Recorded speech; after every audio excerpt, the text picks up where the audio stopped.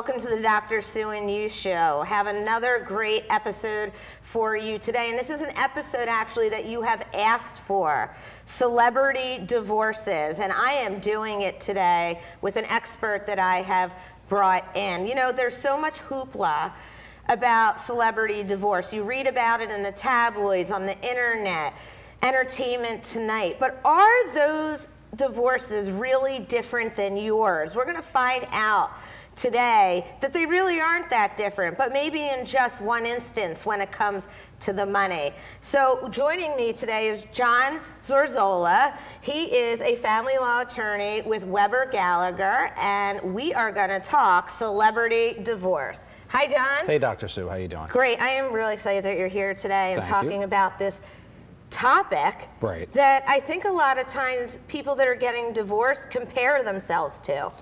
Well, they should, I mean, because the issues are really no different. I mean, we talk about, and you alluded to that, the amount of money involved. I mean, that's the thing that you see on TV and, you know, some of the things that are in the news about domestic violence, and they, all- they all have their little wrinkle, um, especially with the money. But the issues, when it comes down to Mm-hmm. it, are the same issues that people with kids that are getting divorced or having family law problems have. It, it, it is true. I know that for myself. I've worked with some celebrities Mm.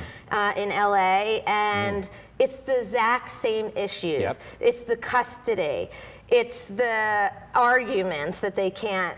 Right. Um, They're regular people. Go through together. They are regular Yeah. people. I don't think people realize that. But when it does come to the amounts of money, Yeah. it is very different. It is. But they're going through the same struggles Totally. that all parents and all divorced people are going through. I learned that myself. Totally. Yeah, I mean, the when you have two people that are together and they have children and you know they're not getting along Right. and there's issues just like everybody else and they decide to get divorced, they're going to need to split up with the help of attorneys and with the help of the courts, just like, you know, f- for lack of a, a better expression, regular folks. Right. You know, regular people have these problems too. No different. Exactly. So let's talk about some of these Sure. celebrities and the issues that are similar to other people getting divorced. Let's Sure. start with one that was in the news. Was it two years ago or one year ago? Matt Lauer. Oh, that one's pretty recent, actually. Yeah, they finalized their divorce a few months ago. The, the real takeaway with the Matt Lauer divorce was um, that's not going to be one of the ones that you saw on TV for. I mean, he had his own issues. Yes. But with respect to their divorce case, it, it is was rather private. Okay, the big takeaway with Matt Lauer, and this is something that we tell people a lot of times during first consultations, is that Matt and his wife concluded their divorce agreement months and months before the complaint was filed, before the divorce was actually filed with the court. Hmm, I didn't know that either. Yeah, so You got some inside dirt. yeah, well, that was that was actually it, it was actually broadcast. Okay. um, you know, and so a lot of the details of that divorce aren't public, but the takeaway for people considering uh, filing divorce, a lot of people think that you know what, we're going to get divorced. I better go uh, to the lawyer and tell him to file the complaint and get this thing moving. Really, the thing that you want to get moving is the issues involving the property division, custody, child support, alimony, all these things. All of these things do not need a complaint to be filed with the court before you can really hash them out. And it seems like these folks did that. Now let me ask you something about their divorce. You see them up there on the screen. Sure. Oh, there they are. There they are.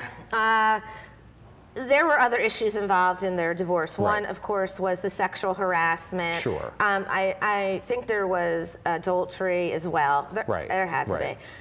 be. And where they live, that would come in to play, I think, out in Los Angeles, where actually he's in New York. I don't know. Right. But there's different laws in different states Yes. of how an affair would um, I'm trying Affect the affect. divorce. I could yeah, Sure. affect Oh, yeah. the divorce. So- and so, but in the state of Pennsylvania, it's different. It is different, Yeah. um, and it's and it's common to all the states or most of the states that have what we call no fault divorce. Right. Okay, back in the old days, um, you used to have to go to a judge and literally ask for a divorce. You had to prove a case of divorce. Yes. And they had to fit in a lot of these little boxes, like the person cheated on me, or the person is guilty of cruel and barbarous treatment, or desertion, you know, all the things. Yes. These were called grounds for divorce, and they still exist today, actually. Right. But because states like New Jersey and Pennsylvania have Yes. added no fault grounds, really it's just some procedural hoops you have to jump over.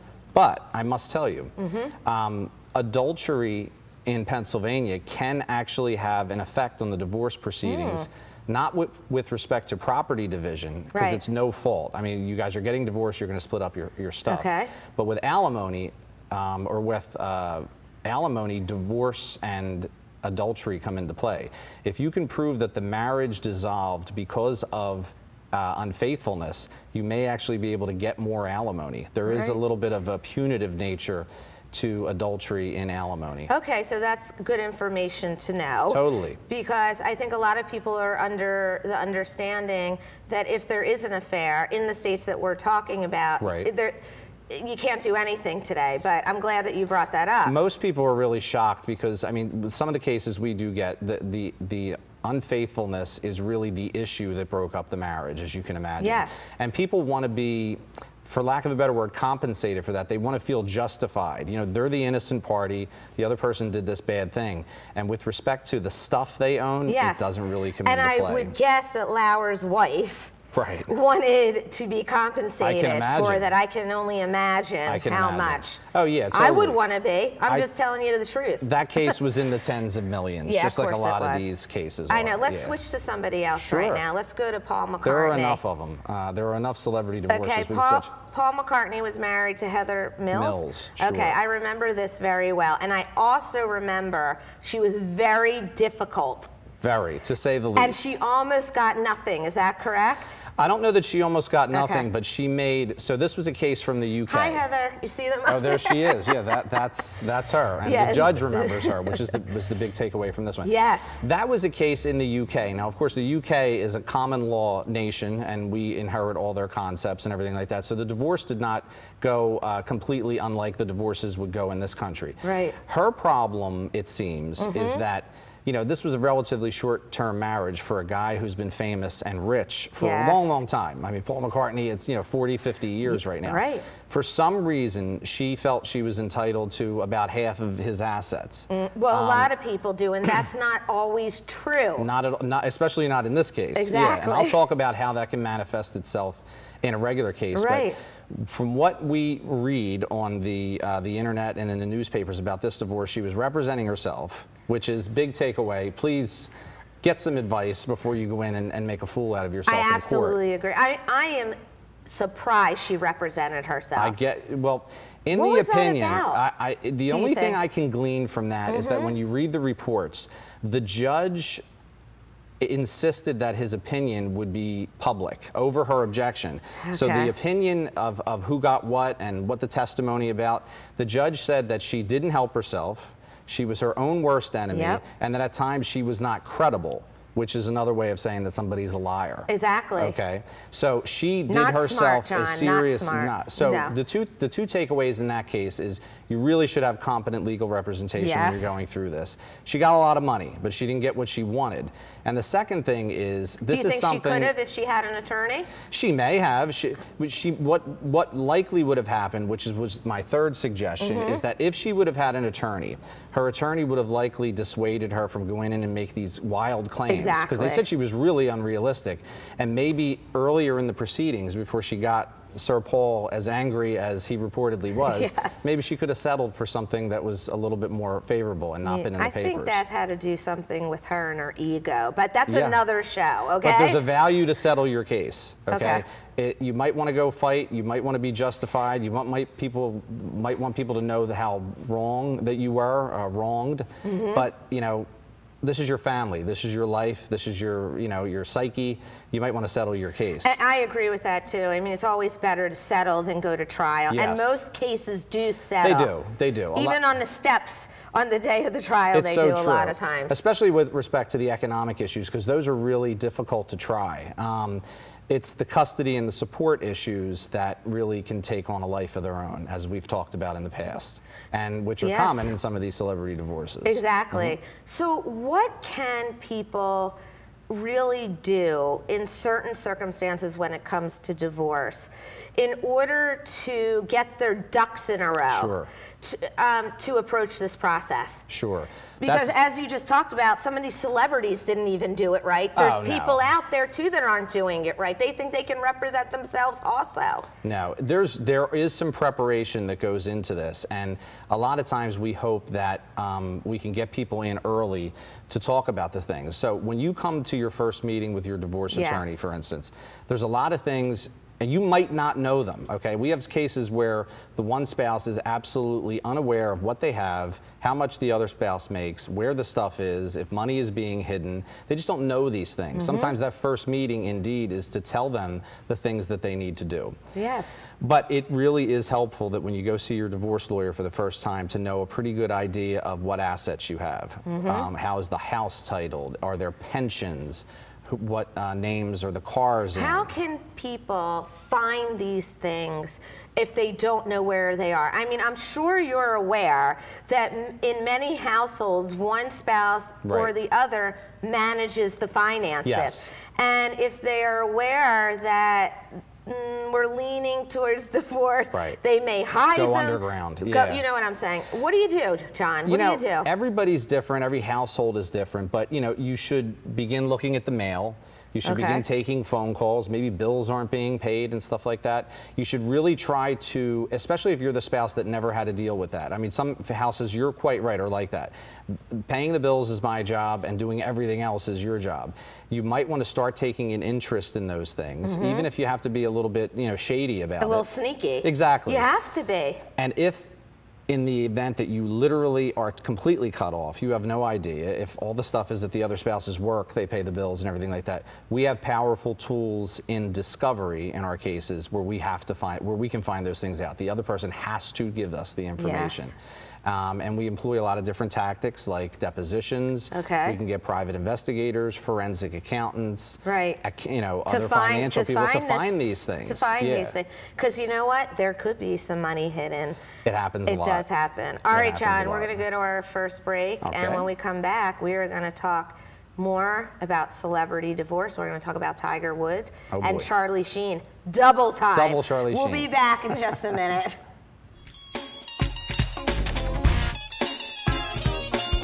divorced and need help figuring out your options for refinancing the marital home or purchasing a new home after a divorce? You need a divorce lending professional. There is only one place and one person to turn to for help Jody Bruns, founder and president of the Divorce Lending Association. Jody is a certified divorce lending professional with over 20 years of experience and has been assisting divorcing couples to identify their goals and has successfully obtained mortgage financing when divorce is present. She understands your needs when it comes to various income sources, such as employment, spousal support, and child support, as well as how to work with the liability of paying the various types of marital debt, and so much more. If you are divorcing and need a mortgage, there is no one else to turn to except Jody Bruns. She helps clients nationwide. Contact her directly today at 720-692-7241 or by email at jody at jodybruns.com. NMLS ID 831033.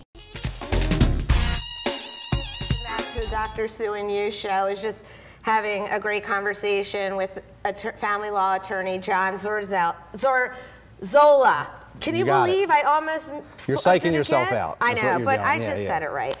Anyway, I'm so happy that you're here with me today. We are talking about celebrity divorce. Yep. And it's happening. It is in the media all the time, Mm-hmm. Yep. and we get sucked into it. Sure, the stories are sometimes uh, they're they're both fantastic, unbelievable, but also people relate to them because it's happening in your house too. Exactly. Mm-hmm. And we're not alone. But the fact is, you really are not. No. The celebrity divorces are so similar Same issues. to other people's divorces. It's the same issues. And you know what else? They also use mediators. They Yes. also go through litigation, and it's the same issues. So Yep. let's hit one right off the bat here. All right. Tiger Woods. Oh, Tiger Woods. Do you remember how publicized this was? Yeah, this was a big one because I think, you know, there was the, you were watching somebody melt down in front of your eyes Yes. too. The divorce was almost a, an effect of the problems that he was having in his own life. But of course, the hot button issues were there too, the infidelity. Mm-hmm. Um, I think there might have been some substance abuse allegations, and the, his career just wasn't going too well. So that had all the makings of a real good TV It did. saga. It you know. did. It did. But how about their divorce? Their divorce was, uh, she got a lot of money. I mean, I, I, Yes. I forget the actual amount. I think it might have been $125 million, which is what people want to know. The interesting thing about that divorce is, and again, one of the takeaways that I would want people to know that they have the ability to do too, is that there were non-disclosure agreements signed as part of that divorce. So, to explain to me Mm-hmm. what a non-disclosure is. Those are agreements to where one or both of the parties are agree not to discuss the terms of the divorce or the terms of anything else that they particularly agree to. The terms of the divorce were not to be discussed, but the interesting thing is that mm-hmm. she is prevented from discussing his affairs in uh-huh. public. Uh. So you can almost think that this is something that might help his career if she's not on TV or writing books every minute about all the women that she was he was with and all this kind of stuff.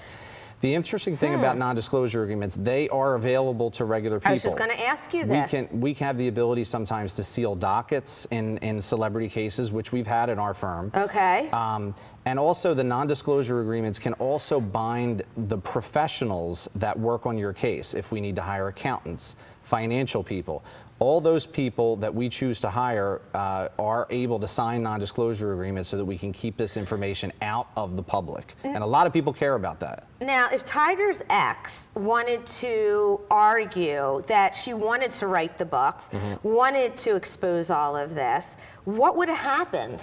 You can only imagine that in those non-disclosure agreements, there are penalties that she would be subject to. Uh, she might have to give money back. She certainly could be sued. Okay. I mean, it, it runs the gamut of whatever you can kind of think of to be the penalty in that agreement. And we do see people that break them.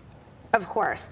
But did she sign that agreement so she would get more money, in your opinion? You know what? We'll never know that. The, Okay. the details of Good that question, uh, divorce right, are private. But you know, You know? It, it maybe it was a good decision by her because again, this is her family. This is that'll be on TV. Her All their dirty laundry. Her kids? Yeah, exactly. I know. Yeah. You, you'll see that with a lot of celebrities, too. Sure. That they will ask for those non disclosures. Yeah, oh, yeah, yeah. Because- Very important tool. Very important, and it protects their children Right. as well. But sometimes and it makes it go away, maybe. And it, it does, but Mm-hmm. sometimes it doesn't protect them all together because some of these exes just go off and do it anyway. Sure. And they probably have to pay a, a penalty. Well, they should. It's a contract. okay. Mm-hmm. Right, but you're saying non-disclosures can be used in a, typical divorce. In a typical divorce, they can. I mean, you know, you don't have to be a celebrity to be somebody of means or, Correct. or somebody that doesn't want their. You could have local politicians. Yep. You could have uh, folks that you know uh, are no uh, have some notoriety in their industry, Mm-hmm. and you know what I mean. And they just don't want their business. th- That might be the reason they choose to settle their case and not go to court because they just don't want this playing out in public. Exactly. I agree with that. All right, let's switch to an old one Okay. that everybody remembers this the signing of the napkin. Oh, sure. Steven Spielberg and Yeah. Amy Irving. Yes. Steven Spielberg and Amy, Amy Irving uh, reportedly met on the, uh, the set of Jaws. Yes. Fell in love, got married, um, and I think they were married for, I think it was six to 10 years or something, Something like that. like that. But evidently, in the throes of their relationship, they concluded a proper or a prenuptial agreement on a napkin, a cocktail napkin. Yes, and this okay? was all over. Right. I know. So um, I'm sure Steven Spielberg felt that he had a contract, um, and that contract written, should be. It was written. Wasn't it written, It's John? written, probably signed, um, but that prenuptial agreement was found to be invalid. Um, Ah. and this is something that everybody, if you know, if you're contemplating a marriage and you do want to get a prenuptial agreement, it's a very helpful tool. Yeah. It can, it, a prenuptial agreement can actually save you a lot of money.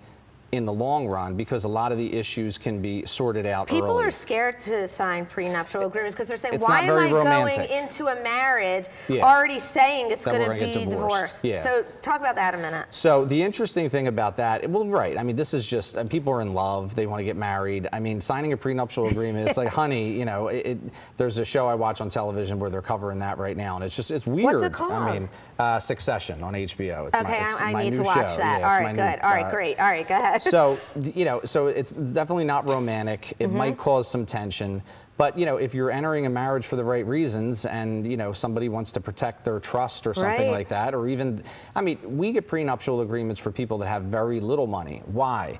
Because people are getting married older these days. True. You have a house. Yes. You have a pension that you've worked for for maybe point. 25 years. Yes. There is no reason that you shouldn't be able to ask your partner that you know you want to save these kids. You could have adult children that you were always going to leave these things to. Prenuptial agreements really are a must that more people should consider before they walk down the Yeah, aisle. and not be as scared of it as they are. And if you do it, don't do it on a napkin. Yeah, you know, that's a good point. I was Yeah. just going to say that. Don't do it on a napkin because there's some things that have to be in there for an agreement to be valid. It has to be written, it has to be signed, but or it also has to. receipt, anything. Yeah, but it has to have it has to have a disclosure of your assets. Remember, the person needs to understand what they're signing away. So, so Spielberg thought he had it in his pocket with the napkin, and basically he had nada. Yeah, she should have known what I had, but I guess it failed for that exactly. Yeah. All right, let's jump to somebody that has been divorced twice, has so many issues. I you that mean. are everywhere all the time. Yeah. Charlie Sheen. Charlie Two Sheen. divorces: Denise Richards and Brooke Mueller. Brooke Mueller. Yeah, yeah. Well, this one, this is Wow. probably the, the classic celebrity family law divorce case um, because it was in. The, it seemed to be in the news every couple of years. Yes. Um, and he seems to marry these people and can't get along, and he winds up That's getting divorced. a bunch of big takeaways with that. This one did definitely, as we know, have domestic violence um, issues. Did associated both of them, it. or it was just with Denise? I don't. I- no, Brooke too. The Brooke Mueller one, I definitely know because there was this incident in Aspen or something That's like that where this is when it all blew up. I think they may have reunited after that, but again, just like adultery, domestic violence issues being sort of a catalyst for the reason that the relationship Mm-hmm. broke up and the reason that you know the marriage ultimately ended in divorce. The the thing with him though, and I think with Denise Richards, is Yeah. that this is not a young guy, right? No. And he has young children. Yes. Okay, which means he's going to be paying child support probably well into his 60s. Okay. Oh, absolutely. I think with Denise Richards, I think one of the kids is about 13 or 14. Yeah, they're, If- they're, they're young, they're Yes. teenagers, and I mean, so I mean, and there's a report that he had to sell some of his assets for um, the show he was in. Um, was Well, it two two? Two um, half men or Yeah, two and a half men. Two and a yeah. half men, yeah. So I think he sold the rights away to that because he had staggering legal Right. bills, and he gets, continues to fight for custody and support. The custody and support issues, at least in the Denise Richards case, are still in court.